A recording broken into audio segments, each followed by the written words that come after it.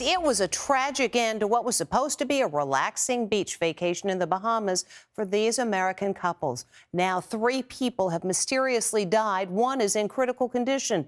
Authorities are investigating, but as Jim Moret reports, suspicion is being cast toward the resort's air conditioners.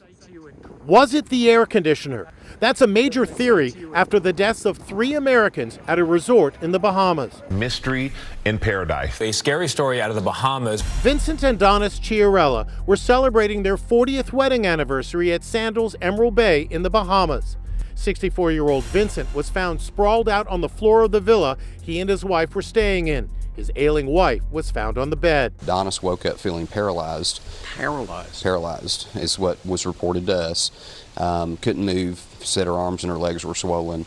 Um, and that she could see Vince laying in the floor. Donnis was airlifted to a Miami hospital.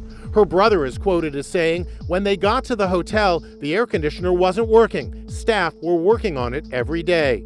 He says his sister is covered in rashes. The other two victims were identified today as Robbie and Michael Phillips, married travel agents. Bahamian authorities say the other two victims went to a local clinic complaining of nausea and vomiting. They were treated and returned to their hotel.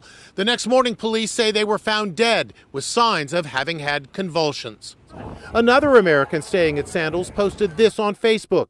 It sounds like it may have been a fault with the AC in the unit, causing a toxic coolant leak. These honeymooners just arrived at the resort. It definitely gives me a cause for concern just because you want to know what happened. Pathologist Dr. Priya Banerjee. So you look to the environment, perhaps the air itself? Definitely. In a tropical place, you think the air conditioner, um, exhaust vent, uh, so anything from like a gas leak, carbon monoxide, I think the Freon has been potentially implicated.